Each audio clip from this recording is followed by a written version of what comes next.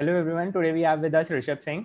He has successfully cracked six offers from tech companies, all of 20 plus CTC, 20 lakhs plus CTC. He has also successfully uh, gone for ACM ICPC regionals, and he has he's a candidate master on Codeforces with a rating of 1934. Uh, and apart from that, uh, he also solves he speed cubing. Uh, he has an average of 10 seconds. So, uh, Rishabh, uh, would you like to tell about your offers? Uh, what are the six offers that you have? Uh, so hi everyone.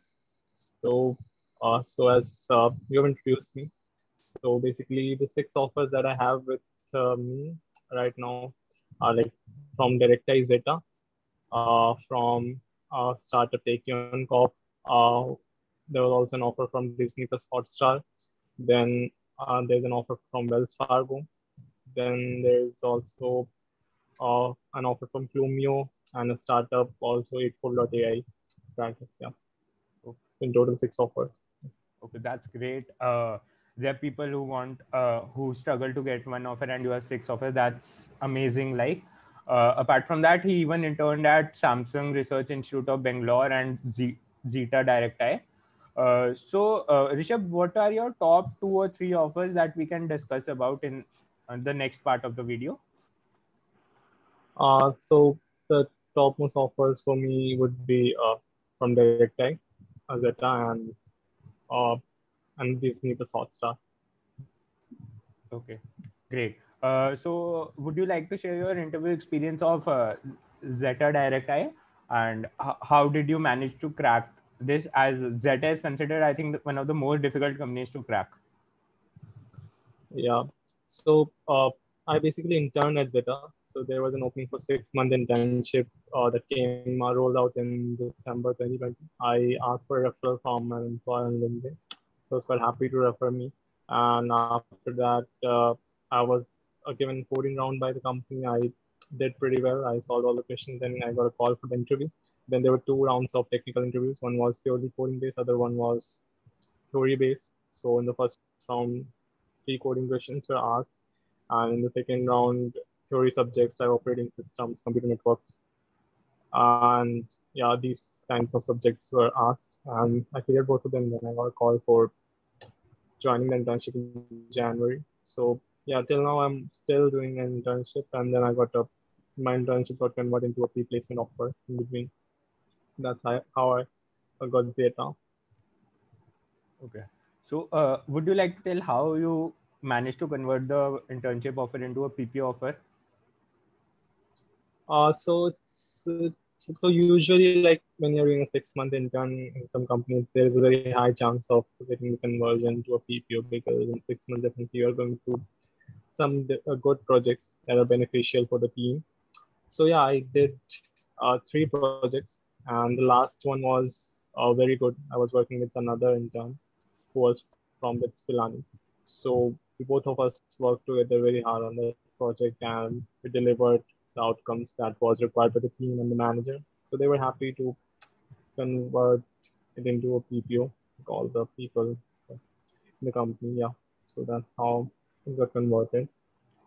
Okay, that's great. Uh, would you also like to discuss about the Hotstar offer that you got? What was the interview process and how did you manage to crack, crack the same?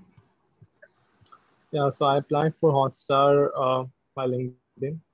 So just applied directly on LinkedIn uh, on an opening that came out for 2021 graduates. Then I got a, a, link for the coding round. I gave it. I did pretty well in that. I solved all the questions. Then after that, there were two rounds of coding interviews. Cleared them. Then was there, there was a round of uh, with a tech lead.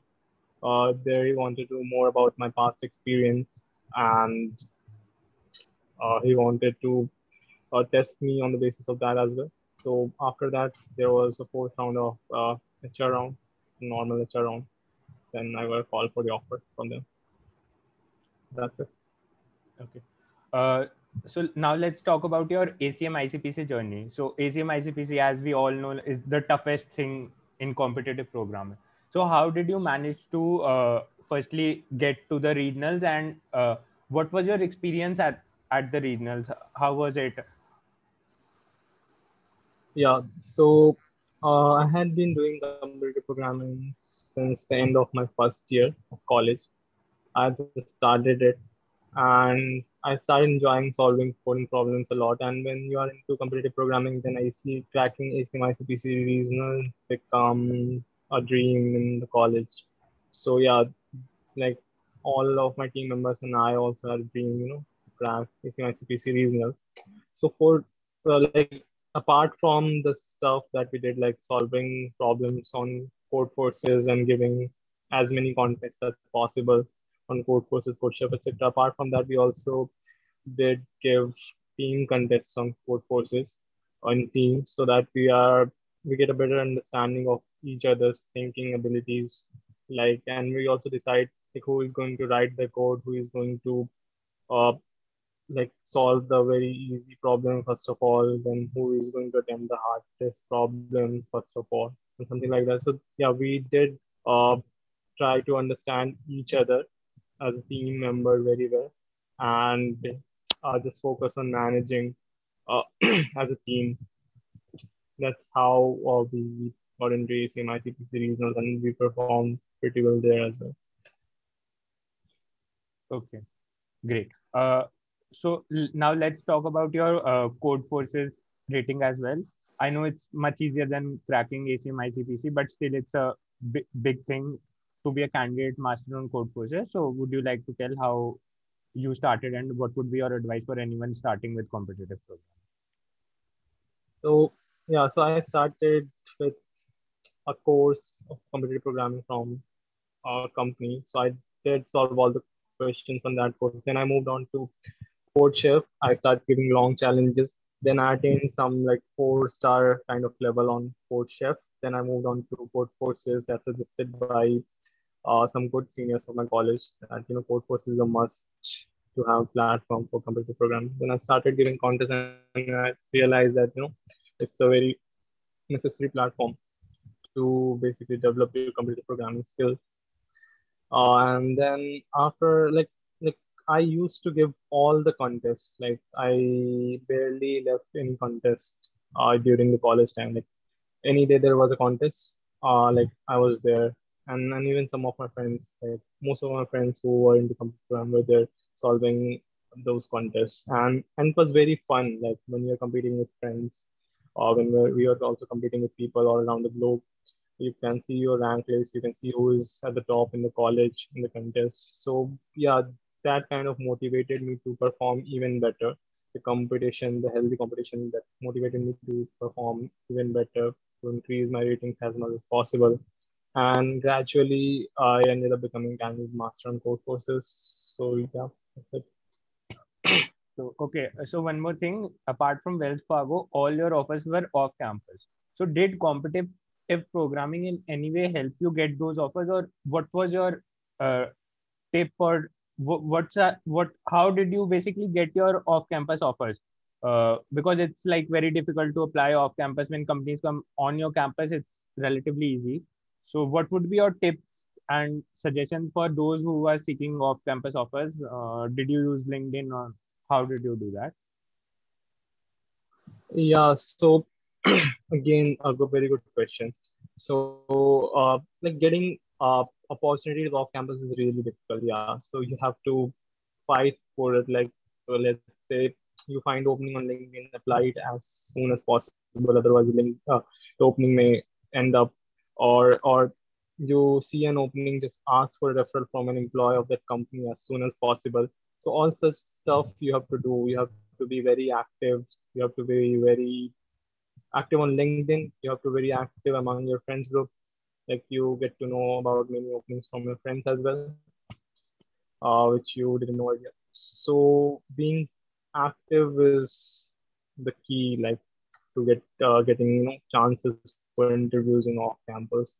And also make a very good resume like list down your most important skills your best experiences in computer engineering so far in your resume very well so that you know uh, like everyone is happy to take your interview. And and, and that's it. Like make a good resume uh, uh be proactive and and then also like preparing for interviews is also one very important thing so Uh, regarding competitive programming, I think competitive, pro- competitive programming helped me a lot in cracking offers. Why? Because uh, after doing so much of competitive programming, there was very less need of you know any extra preparation in the coding aspect, and I had to you know give interviews for the companies. I could crack interviews by very little preparation or no preparation at all because I was good at competitive programming. The questions asked in interviews are uh, either of the same level or a lesser level in competitive programming. And one who does competitive programming well can easily crack coding interviews at least without much of a preparation, in my opinion. So that's how competitive programming helps you in interviews. It also helps you in thinking faster or during the interviews, like because you've done so much of competitive programming, the focus is on time, like how quickly you're going to solve a problem. So yeah, it helps you like do everything fast. Okay, great.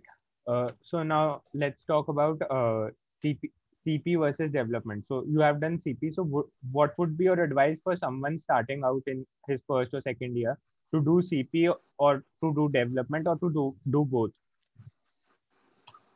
Uh, yeah, so it depends completely on the interest of the person. I think the person person should definitely try to explore his own interest. Should try hands-on CP. Should try hands-on development the very first year, so that, so that he gets a clear idea of you know where he stands, like in which category he belongs. And I think both of them are good. Like if you're doing CP, then it's very beneficial for your job interviews, etc. Like for getting interviews and for cracking coding interviews, CP is very beneficial. Regarding development, like if you're doing development, then that means you're gaining experience in in like experience. Uh, you're getting that experience that you're going to get while, while working in a company already. So that is beneficial in that sense. And also, along with development, you must do something like LeetCode or GeeksforGeeks so that you know you are well prepared for coding interviews as well. So completely depends on the interest of the person, what he or she tries or he or she wants to do. Uh, both of them are good. Uh, like both of them will help you achieve your dream mapping. Okay, that's great. Uh, so Rishabh, I can see a cube on the table. So would you like to solve one cube and show everyone? Let's see how much time do you take. Uh, yeah, sure. So like I will scramble, give it a bit of more scramble and then show it to you. So I think it's pretty scramble now and I will just begin solving it. So let's do it.